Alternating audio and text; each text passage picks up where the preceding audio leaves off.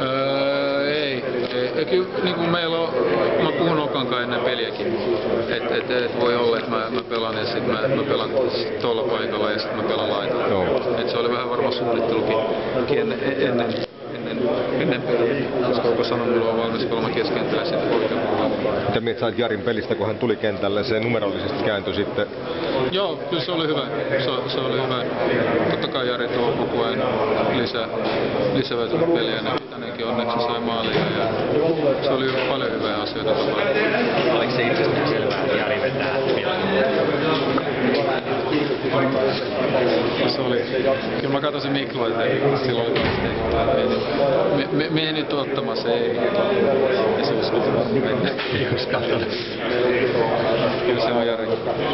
Sitten oli yksi, vapari, oli yksi vaparitilanne, missä sä olit menossa ampuu vapariin vasemmalta laidalta, mutta sä jätit sen näköjään Jarille ihan suosiolla. No se, se halusi vetää, se, se sanoi, että mun pitäisi kiertää, ei mä sit jaksanut mitään kinata siellä, kun se sautti niitä.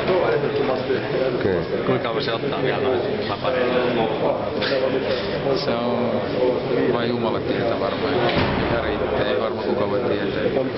Tänne näkyy taas, että se on hyvässä kunnossa ja tämä vuosi nyt lopussa. Katsotaan, seuraava peli on aika, aika pitkästä aikaa. Että, katsotaan nyt mikä on tilanne pari kuukautta päästä. Kiva, kiitoksia. Kiitos.